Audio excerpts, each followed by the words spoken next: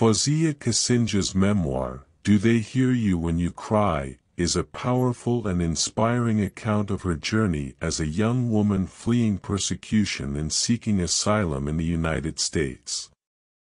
The book offers a searing critique of the oppressive practices of female genital mutilation, FGM, and the cultural norms that perpetuate this practice in her native Togo. At the heart of the book is Kassindja's personal story, which serves as a microcosm of the larger issues facing women in many parts of the world. Kisinja grew up in a privileged family in Togo but was subjected to FGM at the age of 17, a practice that left her physically and emotionally scarred. When her father arranged for her to marry a much older man against her will, she decided to flee the country to avoid this fate. Kassindja's account of her journey to the United States is harrowing, filled with moments of fear, uncertainty, and danger. She had to navigate through several countries and evade multiple authorities to reach the U.S., where she was finally able to apply for asylum.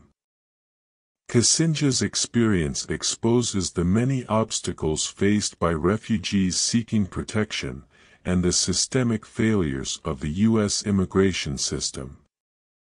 Throughout the book, Kisinja exposes the brutal reality of FGM and the cultural norms that perpetuate it. She describes the physical and psychological trauma inflicted on her and other women who undergo this practice, and the deep-rooted beliefs that make it difficult to eradicate.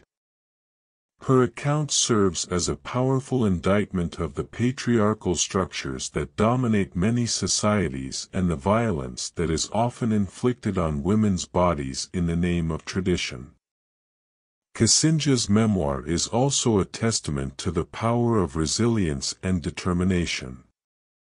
Despite the many challenges she faced, she never lost hope or gave up on her dream of finding safety and freedom. Her story is a reminder of the strength of the human spirit and the importance of standing up against oppression and injustice. One of the most striking aspects of Kassindja's memoir is her voice. Her writing is clear and direct, with a powerful emotional resonance that draws the reader into her story. She speaks with an honesty and vulnerability that is rare in memoirs, and her account is all the more powerful for it.